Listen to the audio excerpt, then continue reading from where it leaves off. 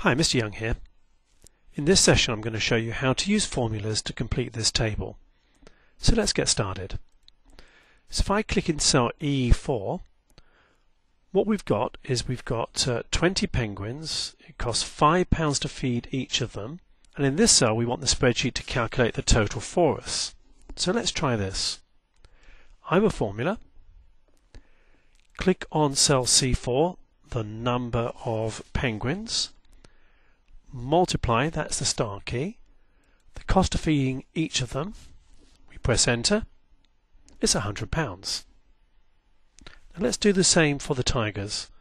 I'm a formula, the number of tigers times the cost of feeding them, enter, we've got 120. Now in this total, we're going to do something new. We're going to use something called a function and what we do is we go equals SUM, that's telling the spreadsheet that in that cell we want them to add up, well, what?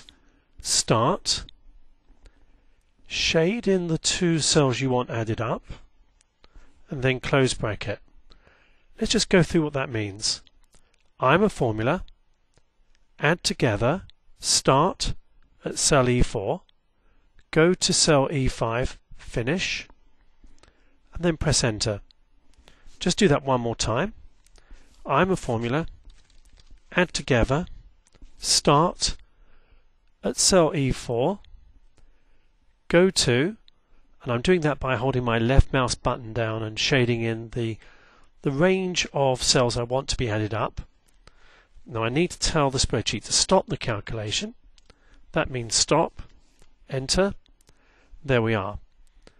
Now you probably want to go equals E4 plus E5. I can understand why you want to do that, but believe me, in the next exercise, when we've got lots and lots of animals to add up, you really want to do a sum rather than add up lots and lots of cells. So, over to you.